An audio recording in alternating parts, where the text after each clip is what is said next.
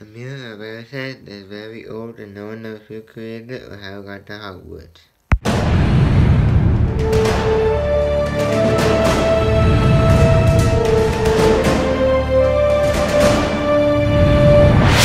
It may have been brought back by a teacher, because teachers sometimes bring things back on trips. It may have been created for fun. No one knows if it was good or bad fun. Dumbledore modified it a little. If you read the words on the mirror backwards, you will see, I shall not your face, but your heart's desire. Here J.K. Rowling's thoughts. The advice to hold on to your dreams is nice but sometimes bad. Dumbledore knows that not all dreams are achievable. Harry's dream was to be with his parents again.